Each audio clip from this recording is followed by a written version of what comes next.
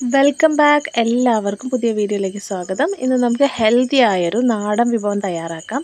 ഒരു കറിയാണിത്. നമുക്ക് പെട്ടെന്ന് തയ്യാറാക്കിയെടുക്കാൻ പറ്റുന്ന ഒരു മുരിങ്ങ കറിയാണിത്. മുരിങ്ങയിലെ താളിപ്പാണ് നമ്മൾ തയ്യാറാക്കുന്നത്.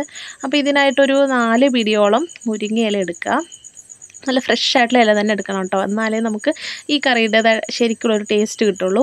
അപ്പോൾ ഇതെടുത്തിട്ട് നന്നാക്കി ഇലയൊക്കെ പറിച്ചിട്ട് നന്നായി കഴുകിയെടുത്താണിത്. ഇനി ഒരു പാൻ അടുപ്പിലേക്ക് വയ്ക്കുക മൺചട്ടി ഉണ്ടെങ്കിൽ അതായിരിക്കും ഏറ്റവും നല്ലത്.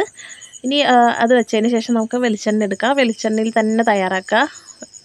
ആ, വെളിച്ചെണ്ണയുടെ മണവും കൂടി ചേരുമ്പോഴാണ് യഥാർത്ഥത്തിലുള്ള രുചി കിട്ടുന്നത്.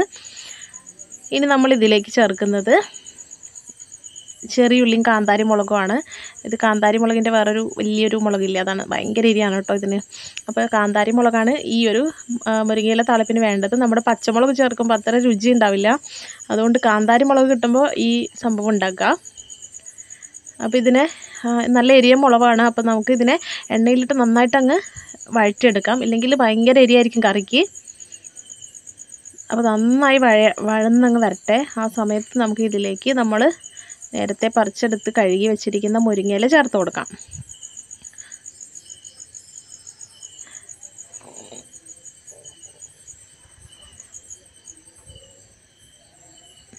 ഇനി ഇത്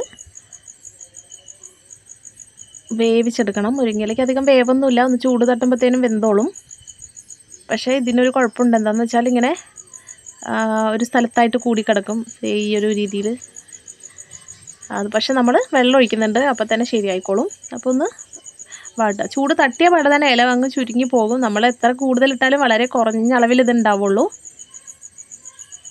അപ്പോൾ ഇനി ഇതിൽ പ്രധാനപ്പെട്ട ഇൻഗ്രീഡിയന്റാണ് ചേർക്കുന്നത്. മറ്റൊന്നുമല്ല സാധാരണ താളിപ്പുകളിലെ പോലെ തന്നെ കഞ്ഞി വെള്ളമാണ് ചേർക്കുന്നത്. അപ്പോൾ ഏകദേശം ഇല മുങ്ങിക്കിടക്കത്തക്ക രീതിയിൽ ചേർത്ത് കൊടുക്കുക. ഇനി പതിയെ മിക്സ് ചെയ്ത് കഴിയുമ്പോൾ ഇലയൊക്കെ വിട്ട് വിട്ട് വന്നോളും.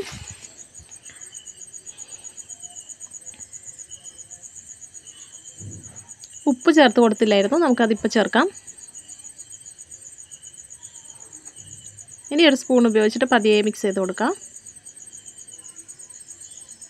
അപ്പോൾ എത്ര എളുപ്പത്തിലാണ് നോക്കൂ ഈ കറി തയ്യാറാക്കിയത്? വളരെ കുറച്ച് ചേരുവകൾ മാത്രം മതി. ആ ചെറിയുള്ളി നന്നാക്കി എടുക്കേണ്ട ഒരു സമയം വേണം. അതുപോലെ തന്നെ മുരിങ്ങയില നന്നാക്കി എടുക്കേണ്ട ഒരു സമയം. അത്രേ ആവശ്യമുള്ളൂ ഇത് തയ്യാറാക്കാനായിട്ട്. അപ്പോൾ ഇത് ഇളം ചൂടുള്ള ചോറിന്റെ കൂടെ കഴിക്കാൻ വളരെ നല്ലതാണ്.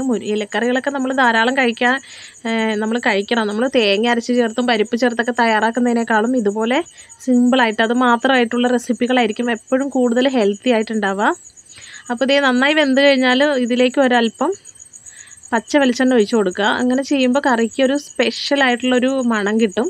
ഒരു നല്ല കൊതിപ്പിക്കുന്ന ഒരു മണം കിട്ടും. ചോറിന്റെ കൂടെ കഴിക്കുമ്പോൾ നല്ലൊരു മണമായിരിക്കും കിട്ടുക. അപ്പോൾ ഇത്രയും തന്നെ ഉള്ളൂ നമ്മുടെ റെസിപ്പി അപ്പോൾ എല്ലാവരും മുരിങ്ങയിലേക്ക് കിട്ടുന്ന സമയത്ത് ഇതുപോലെ ഒന്ന് ട്രൈ ചെയ്ത് നോക്കണം കേട്ടോ. Thanks for watching bye